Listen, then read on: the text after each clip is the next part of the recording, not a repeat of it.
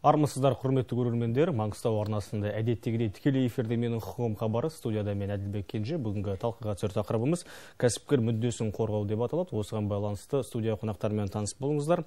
Әмірғали жанаев зейнешұлы маңғыстау облыстық кәсіпкерлер құқығын қорғау және сыбайлас жемқорлыққа қарсы іс қимыл кеңесінің төрағасы және де асылбек жарылғасов қуанбайұлы маңғыстау облыстық кәсіпкерлер палатасы кәсіпкерлер құқығын қорғау бөлімінің басшысы. Қош келдіңіздер.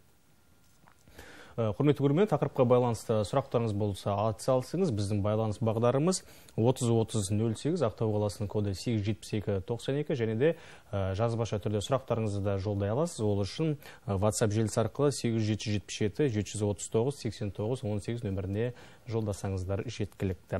Енді құрметті студия қонақтары енді алғашқы сұрағым осы кәсіпкерлер құқығын қорғау бөлімімен осы кеңестің ара жігін айтып түсіндіріп берсеңіздер. Жалпы жұмыс бағыты функциясы қандай? Қандай қызмет түрлері бар? Иә рахмет саламатсыздар ма? Бөлімнің өзінің атауында айтып тұр. Біз кәсіпкерлер палатасының кәсіпкерлердің құқықтарын қорғаймыз. Яғни мемлекеттік органдармен өзара бір қарым қатынастардың арасында болған бір кедергілер бойынша арыздарын қарастырамыз біздің бөлім. Және де біздің бөлім мысалы заңнамалық актілерге өзінің әкімшілік кедергілерді төмендету жөнінде жұмыстармен ұйымдастыру атқарамыз. Ал кәсіпкерлік субъектінің құқықтары мен заңды мүдделерін қорғау бөлігінде жұмысының тиімділігін арттыру, арттыру мақсатында кәсіпкерлер палатасы жанынан кәсіпкерлердің құқықтарын қорғау және сыбайлас жемқорлыққа қарсы іс қимыл жөніндегі кеңес құрылған болатын? Түсінікті. Ал енді кеңестің жұмысын әмірғали зейнешұлы өзіңізден сұрайық. Жалпы кеңестің құрамында кімдер бар? Негізгі жұмыс бағыттары қандай?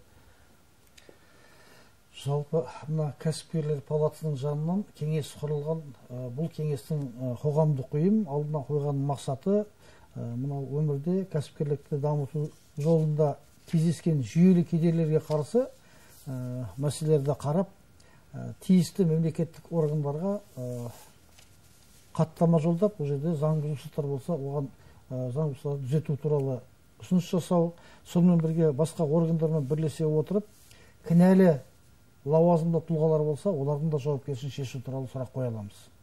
Яғни былай айтатын болсақ он үш адамнан тұрады оның құрамына мысалы облыс прокурорының орынбасары кіреді облыстық әділет басқармасы басшысының орынбасары кіреді сонымен бірге сыбайлас жемқорлыққа қарсы іс қимыл агенттігінің жауапты қызметкерлері кіреді басқа да мемлекеттік органдардың мүдделі уәкілдері кіреді сонымен бірге қоғамдық ұйымдардан адвокаттар алқасынан қорғаушылар алқасының мүшелері де кіреді ол жерде жаңағы кәсіпкерлердің құқығын қорғау барысында олардың сұрақтарын жан жақты толық қамту үшін түрлі саланың мамандары қатысады. Сонымен бірге біз кеңес мәжілісінде осы туындаған сұрақтарды қараған мезгілде мүдделі мемлекеттік органдардың уәкілдерімен қоса мамандарды да шақырып олардың да ақыл кеңестерін ескеріп отырамыз.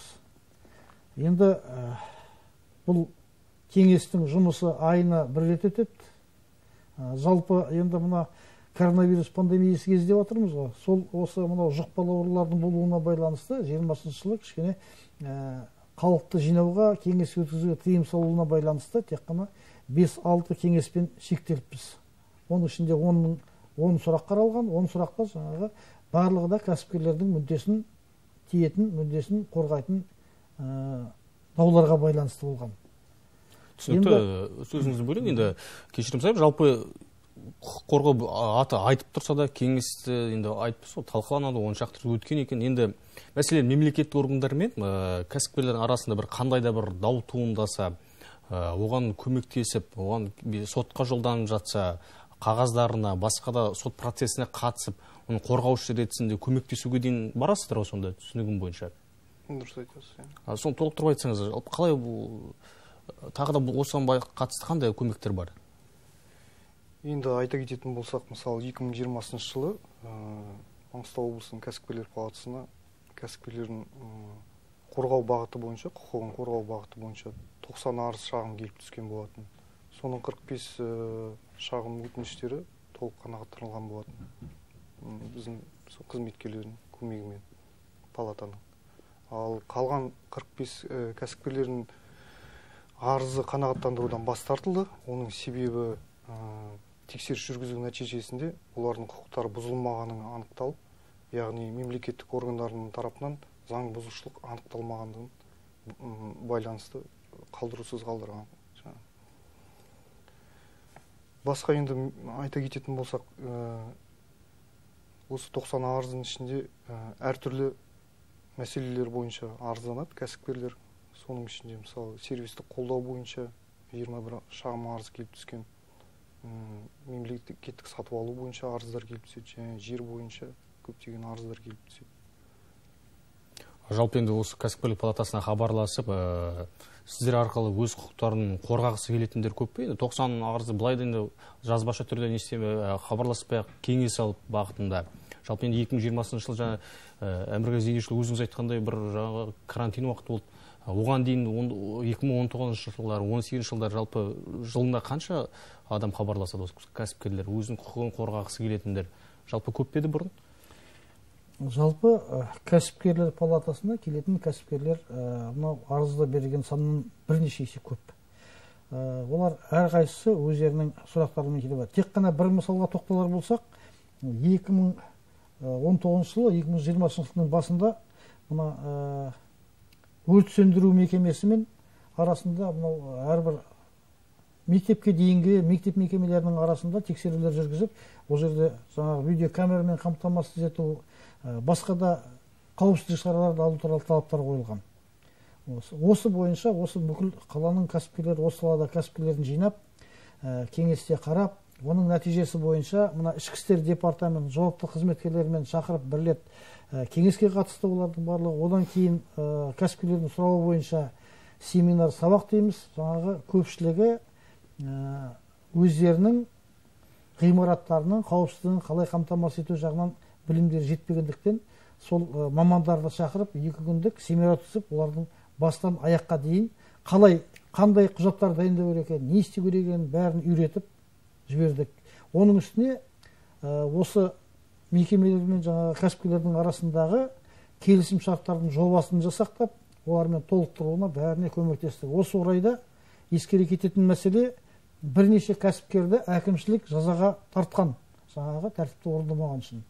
Бұл кәсіпкерлердің сұрауы бойынша палатаның қызметкерлері әрбір сот мәжілісіне қатысып кәсіпкердің мүддесін қорғап нәтижесінде екі кәсіпкер кінәсіз деп табылып кінәсіз деп табылып ісі қысқартылды. Әкімшілік ісі қалған жағдайларда әкімшілік өндірістерін жаңағы заң бойынша заң бұзушылықтың толық анықталмауына байланысты қысқартылды. Яғни бұл жерде енді жаппай тартты деп айта алмаймын бірақ бастапқыда төрт бес кәсіпкерді жаңағы әкімшілік толтырып сотқа жіберіп сол сотта кәсіпкерлер палатасының тікелей араласуы нәтижесінде жаңағы кәсіпкерлердің құқығы қорғанып олар жауапкершіліктен құтылды.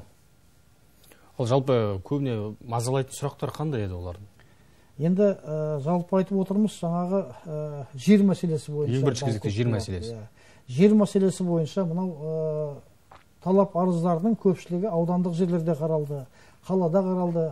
Солардың барлығына аудандық жердің барлығына мүмкіндігіміз болғанша кәсіпкерлер палатасының уәкілін жіберіп сол уәкілдер кәсіпкерлердің мүддесін қорғап сотта қатысып үшінші жақ болып Ә, көп жерлерде кәсіпкерлердің ә, құқықтары қорғанып тартып алайын тұрған жерлерін сот талап қанағаттандырудан бас тартып кәсіпкерлердің пайдасына шешіп берді дауларды ал енді көп жағдайда сотқа жеткізбей ә, жергілікті атқарушы органға әкімшіліктерге тікелей барып дөңгелек стол өткізу келіссөздер жүргізу арқылы шешіп отырдық. Ал енді шешуге келмейтін жақтарын жаңағы сотқа да апарып шештік деп отырмыз. Сотта да біз осы мен енді толық есеп есімде жоқ. Елу алпыс талап арызды сол біздің кәсіпкерлік палатасының уәкілдері қатысты. Түсінікті енді мына өткен жылы күзде президент жолдауында осы мемлекеттік құрылымдардың кәсіпкерлік қызметке кез келген заңсыз араласуы кәсіпкерлердің жұмысына кедергі жасау мемлекетке қарсы ауыр қылмыс ретінде қабылдану керек деп атап өтті. Енді осы орайда мына екі жыл болатын болса бұрын жауапкершілік бес жылға дейін сияқты ұзарту жазасы қатаңдаған екен. Ал бұл осындай жаза қатаңдау арқылы біз мәселені түпкілікті түрде шеше аламыз ба? Енді әрбір нақты оқиға бойынша әрбір нақты дерек бойынша дербес анықтау керек. Енді бүгінгі күндерде біздерде жаңа кәсіпкерлердің кәсіпкерлердің мүддесіне нұқсан келтіріп құқығын бұзу арқылы қылмыс жасады дейтін дерек анықталған жоқ. Жалпы көпшілігі мемлекеттік органдардың да басқа жіберген қателіктердің нәтижесінде созбалаңға салынады көбіне. Енді ол мәселені қылмыстық деңгейге жеткізбей келіссөздер жүргізу кезінде көп жағдайда кінәлі адамдар өзінің көз жеткізгеннен кейін дұрыс еместігіне жіберген қателіктерін түзеуге тырысады. Сондықтан бұл жерде енді істі насырға саптырып жатқан жоқ. Шама келгенше бейбітшілік жолмен келіссөз арқылы дөңгелек стол нәтижесі арқылы басқа да жағдайларда шешіп отыру біздердің алдымызға қойған мақсатымыз. Бұл кәсіпкерлер палатының алдына қойған мақсаты бір кісінің үстіне қылмыстық іс қозғатып немесе басқа да іс қозғатып жауапқа тарту емес. Бұл кездескен дауларды шешіп кедергілерді алып кәсіпкерліктің дамуына жол ашу болып табылады. Түсінікті. Асылбек қуанбайұлы сіз жаңа 2020 жылы тоқсанға жуық өтініш бар дедіңіз. Соның арасында осындай деректер бар ма? Белгілі бір осындай құзырлы орган тарапынан маған қысым көрсетіп отыр деген сияқты. Кеңес бұл жазбаша түрде жолдаған болмаса өзіңізге хабарласқан осындай деректер кездесті ме? Жоқ жаңа әмірғали зейнешұлының айта кеткен сөзімен келісуге келісемін. Себебі деген келіп түскен арыздардың көбісі бізге мемлекеттік органдардың тарапынан қателіктерінің кесірінен шағымданады кәсіпкерлер. Мысалы келтіргенде мемлекеттік сатып алу арқылы екі тарап келісімшарт жасақтайды. Келісімшарттың міндеті бойынша жаңа тапсырыс беруші ақшасын уақытында аудармайды. Кәсіпкер өзінің міндетін толық орындайды бірақ соның өзінде де мемлекеттік органдар уақытылы ақшасын аудармайды. Сол кезде мысалы кәсіпкерлер палатасына бізге өтініш арыз жазады. Біз жаңағыдай дөңгелек стол өткіземіз келіссөздер өткіземіз хат жолдаймыз. Не себепті? Бұндай жағдайлар алып отырған орнын анықтаймыз. Мәселесін шешіп беруге тырысамыз. Және де шешіледі бұның мәселелері.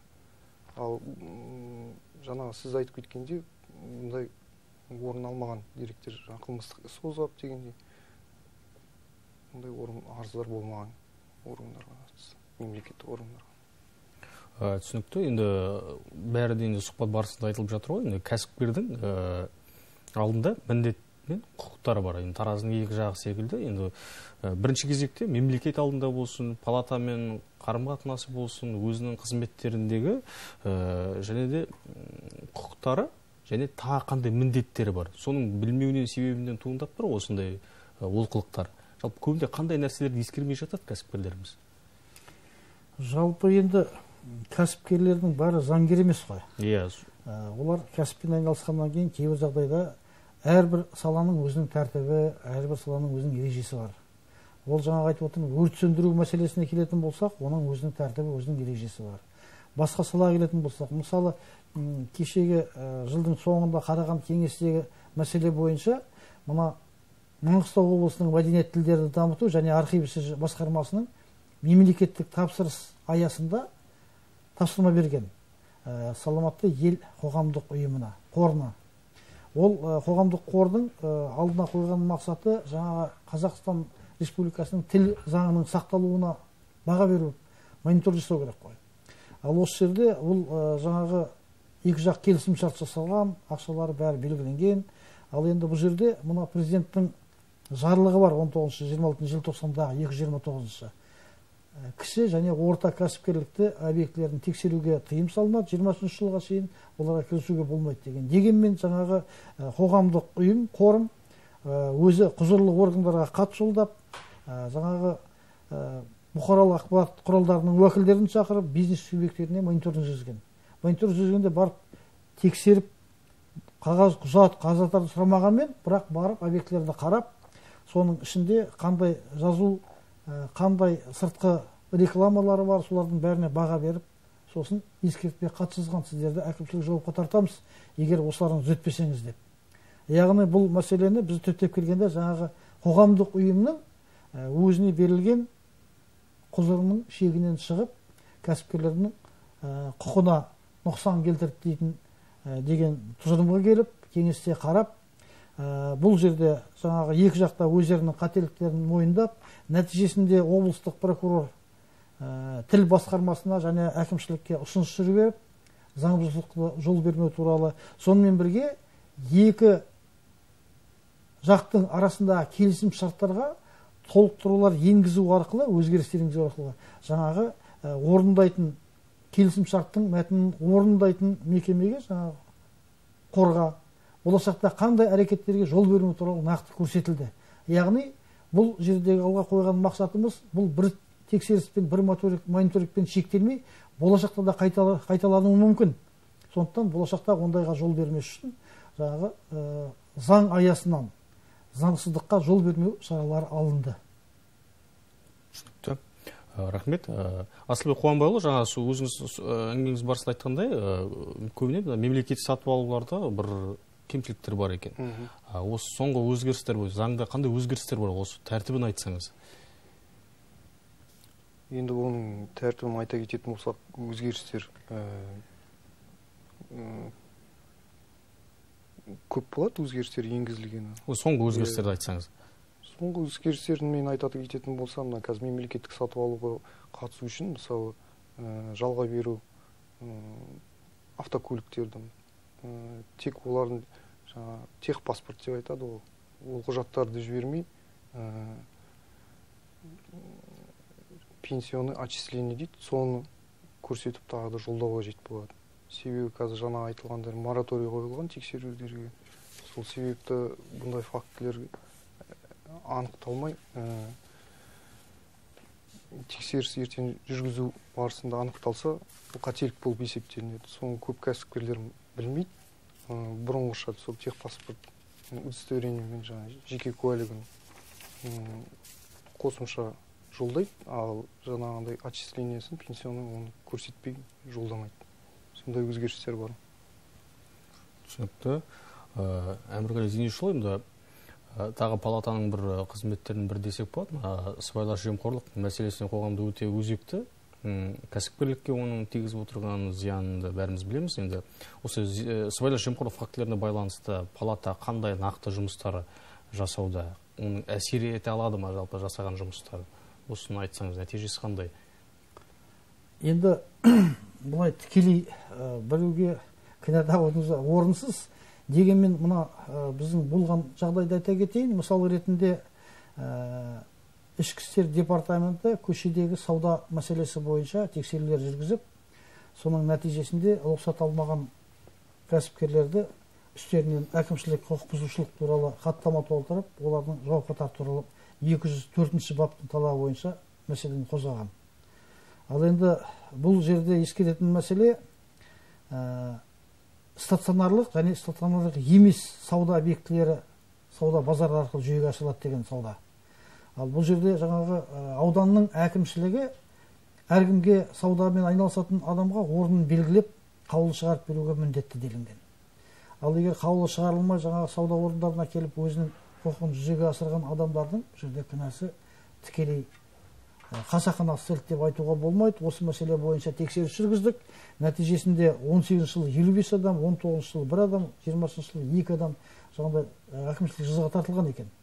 Осылардың бәрін анықтап нәтижесінде прокуратура органдары тікелей араласып ә, прокурордың осы ә, актілерді ә, прокурорлық шара алу актісін беру нәтижесінде осы қаулылардың күшін жойып ә, болашақта жол бермеу туралы талап қойылды. Оның үстіне осы хаттамаларды толтырып жүрген ә, ішкі істер департаментінің жауапты қызметкерлерінің жауапкершілігін шешу туралы ұсыныс жолданды. Ол енді іштік тексеріс өздерінің ішінде тексеріс жүргізіп нәтижесінде кімнің қандай кінәсіне қарап әркім өзінің ә, тәртіптік жазасын алады деген сөз. түсінікті. Енді жаңа стационарлық ә, орындарды тағайындау керек дедіңіз ә, жазғы тұра теңіз жағасында мына балалардың жаңағы ойын ойыншықтары дейміз велосипедтер бар.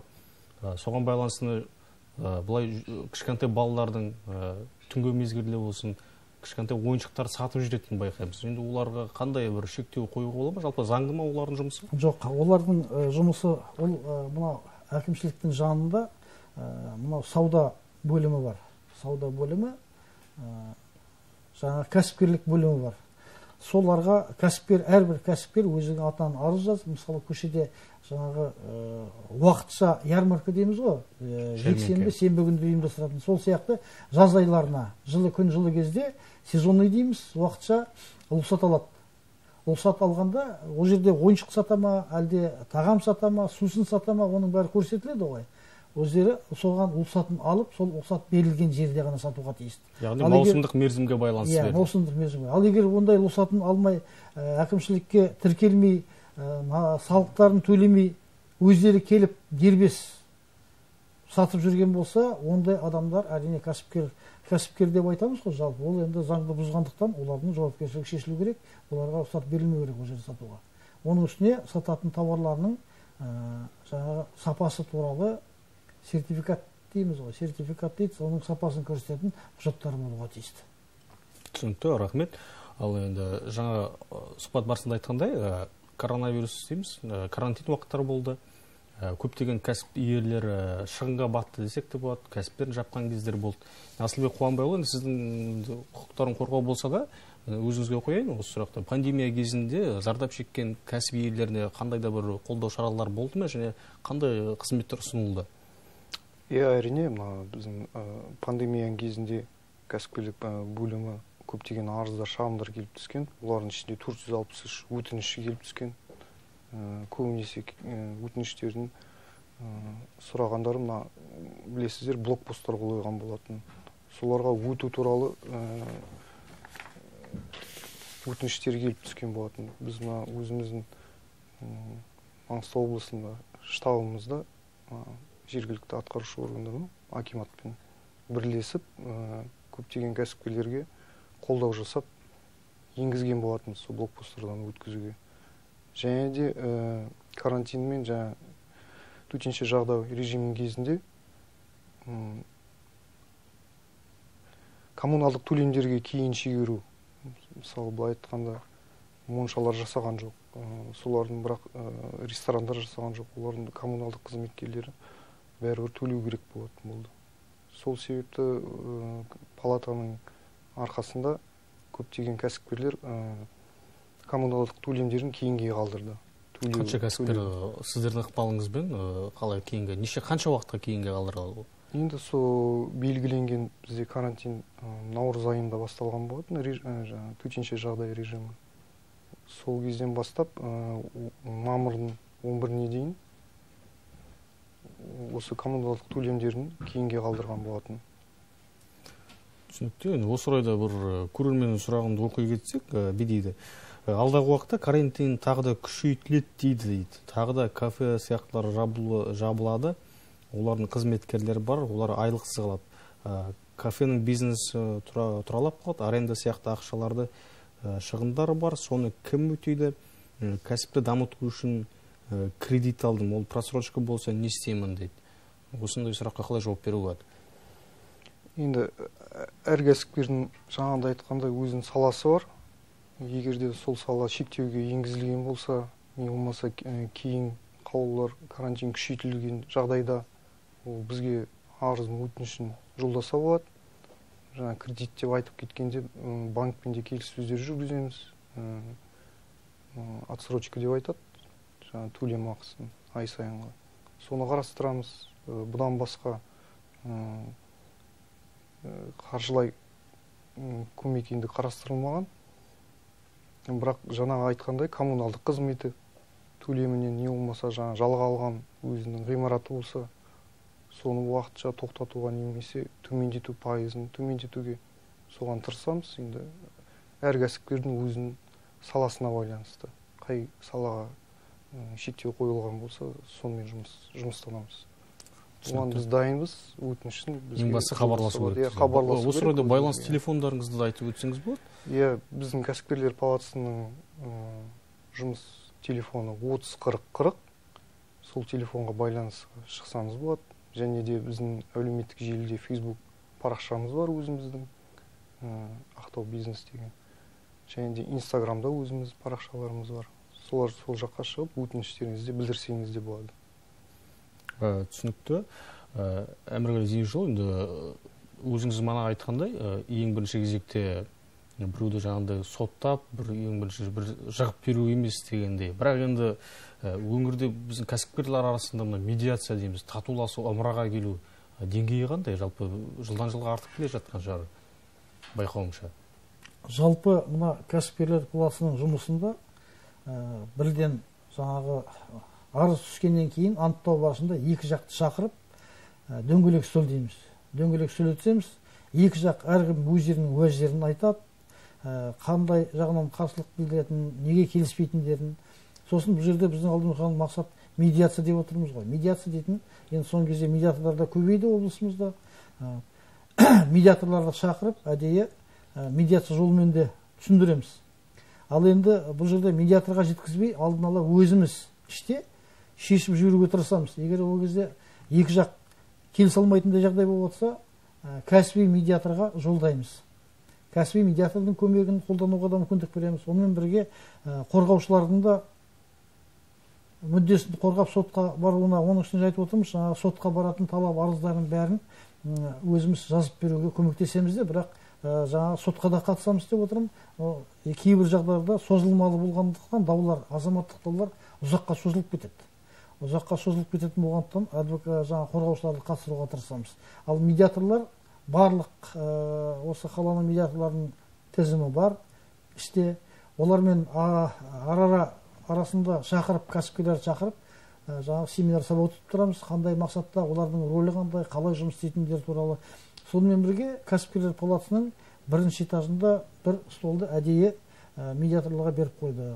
Уақытында келіп медиаторлар кәсіпкерлерді қабылдап ол жердегі даулардың негізін түсініп оны шешу жолдарын қарастырады.